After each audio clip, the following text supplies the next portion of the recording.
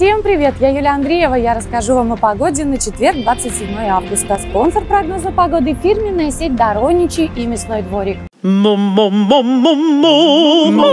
Густая сметана красногорские фермы такая нежная и натуральная, что хочется петь. Всего за 49 рублей 90 копеек. Фирменной сети Дороничи и Мясной дворик.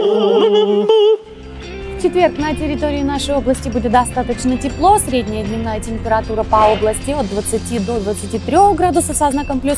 Преимущественно будет малооблачно, но не без дождей.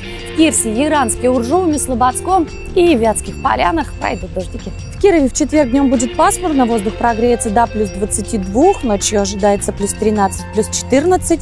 Атмосферное давление составит 746 миллиметров ртутного столба, влажность воздуха 59%. Ветер подует юго-западный со скоростью до 2 метров в секунду и магнитное поле будет спокойным. 14 часов 27 минут продлится световой день в этот четверг, луна растущая. И на этом у меня все. Это был прогноз погоды на четверг, 27 августа. Пока-пока.